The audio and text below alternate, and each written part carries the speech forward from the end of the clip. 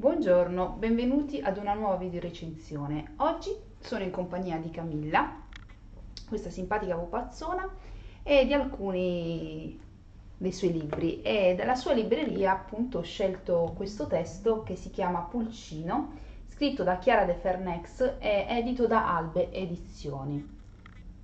Pulcino narra uh, la storia di una mamma chioccia e del suo pulcino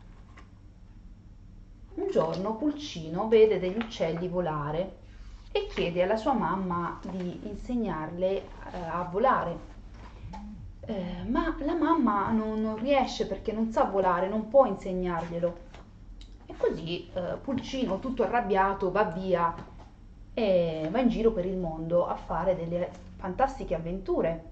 Conosce mondi straordinari, degli altri animali, eh, ammira il cielo pieno di uccelli tutto sembra andare bene, ma a un certo punto arriva un gran temporale.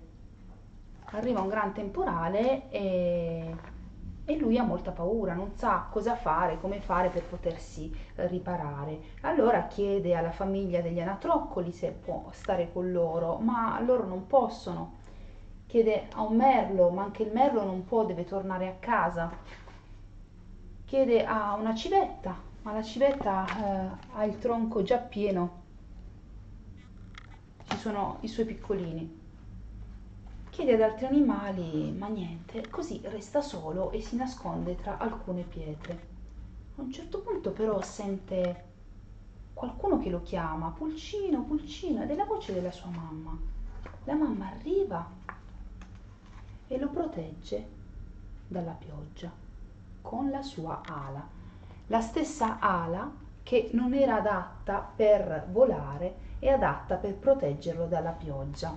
Ed è proprio questo il, il significato, il cuore uh, di questo testo, è proprio il, il limite. Eh, una mamma che non può insegnargli a volare, ma può proteggerlo, quindi eh, il limite che noi mamme a volte abbiamo, non siamo perfette, non possiamo insegnare tutto, non possiamo dare tutto, ma eh, le cose fondamentali eh, ci sono. E quindi mi sembra un messaggio molto bello, eh, passato in modo molto semplice, con un, un, testo molto leggibile, facilmente comprensibile anche per bambini molto piccoli, anche a partire da due anni.